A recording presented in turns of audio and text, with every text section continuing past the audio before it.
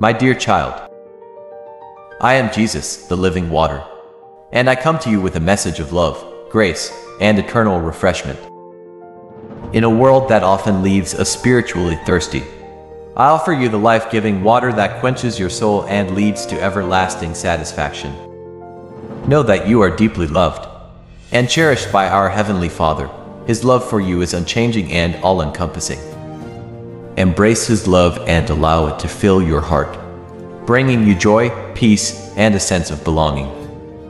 In your journey, seek to love as I have loved you. Love is the foundation of my teachings, and it is the greatest commandment. Love God with all your heart, soul, and mind, and love your neighbor as yourself.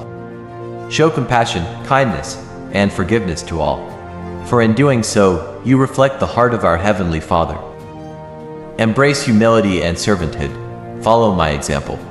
For the first came not to be served, but to serve. Let humility guide your interactions with others, and seek to uplift and support those around you.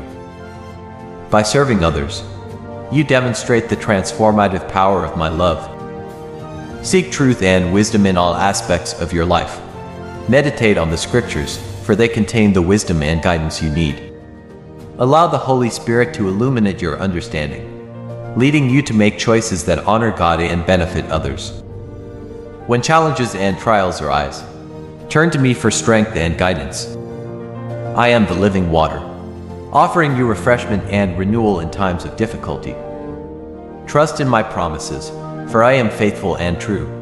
I will walk with you through every trial, providing you comfort and courage. Stay connected to me through prayer and communion.